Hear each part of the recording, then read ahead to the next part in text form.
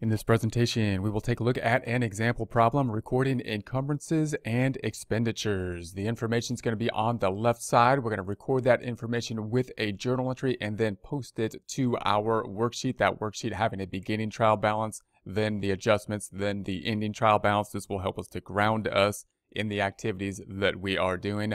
The trial balance in order, we have cash, which is going to be our assets. Then we have the orange accounts, which are going to be the liability accounts, vouchers payable in this case.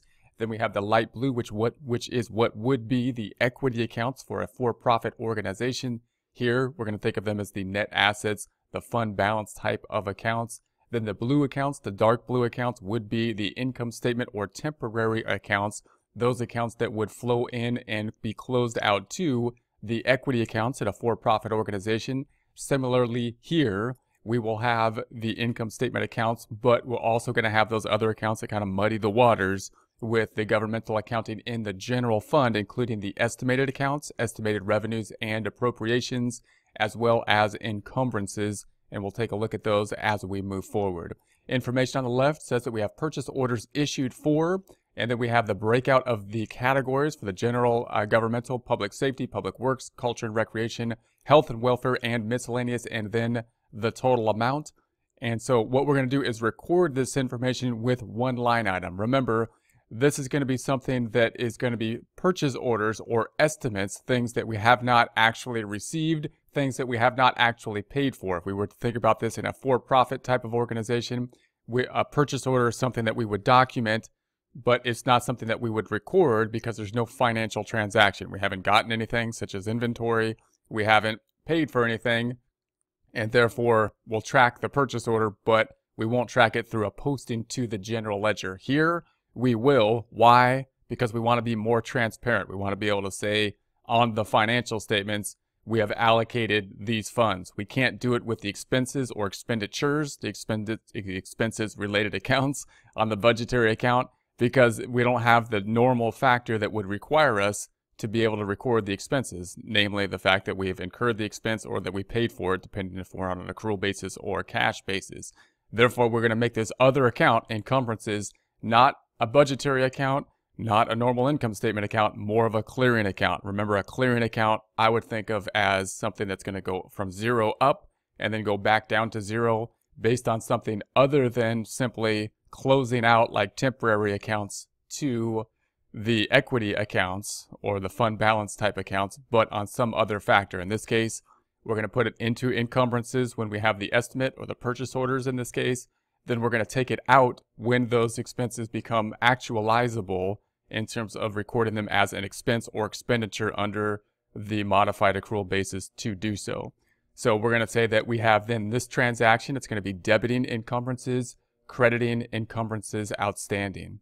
So if we post that out, it will look like this. We're going to be increasing encumbrances. It's going to be going up similar to an expenditure, but remember it's not an expenditure. So it's going to be going from zero up in this direction with the debit.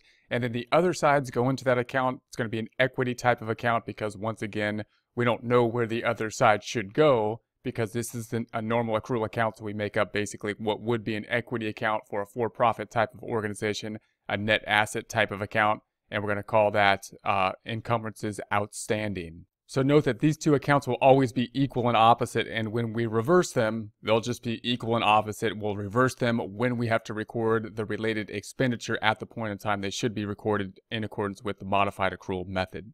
The next item is we're going to say that we have now received this information, goods received related to these encumbrances. So we're going to say that we received all the goods related to these encumbrances, and therefore we don't need to estimate uh, which of the encumbrances we received and which ones we have not, we're simply going to reverse the entire encumbrance.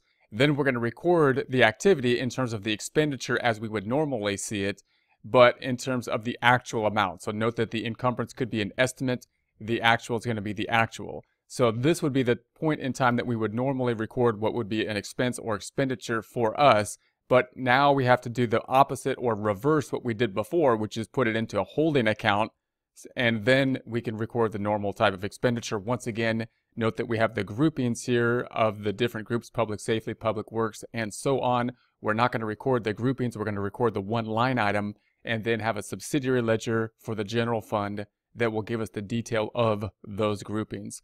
So first we're going to redo we're going to remove the encumbrance.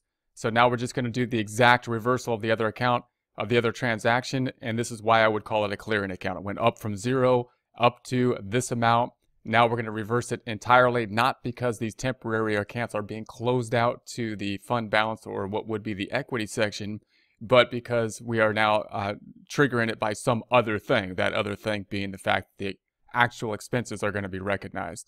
So we're just going to reverse exactly what we had. So this time we're going to debit the encumbrances outstanding. Here's what was in the encumbrances outstanding. We debit it, bringing it back down to zero. That's what I would call a clearing account. Here's we're going to credit. And remember, that's different than what we would normally do for, for expenses because these are going to be the encumbrances we're going to credit. That's different than what we would do for expenses, which generally only go up in the debit direction. So we'll credit these items and they go down to zero. And so note that once again, this is not a budgetary account. This is not a normal income statement, revenue or expenditure or expense type of account. It's going up and then down, not based on being closed out to the equity, but based on just being a holding type of account.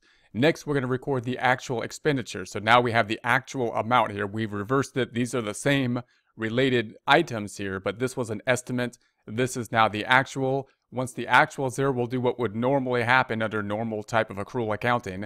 That would be that we would debit expenses, in this case expenditures, that being the account for the modified accrual of the general fund, and then credit what would be accounts payable, what we would typically think of it, but this time we're going to just call it vouchers payable. So we're going to say here's going to be our transaction expenditures goes from zero up in the debit direction and there's going to be our expenditures. Other side is going to be increasing the liability as we would expect going from zero up in the credit direction. At this point in time, we're in kind of normal type of territory. This would seem somewhat normal in terms of accrual type of accounting. The next thing that would happen is that we would pay off the vouchers payable, and that would be another kind of normal type of transaction. We would credit cash, we would debit the, the liability, the payable, and that would look like this. If we were to post this out, cash would be credited. We would then pay the cash, cash going down, the other side being the debit to vouchers payable, it having a credit balance, we doing the opposite thing to it to make it go back down to zero. So that's the general cycle that you want to get used to within, within these encumbrances. We're going to first put it into the encumbrances when we have an estimate. Then we're going to take it out of the encumbrances entirely to record the normal kind of transaction, which would be the expenditure type of transaction. And then if we have a payable, we'll do the normal type of payable and uh, record the payable, reducing the payable, taking it to cash.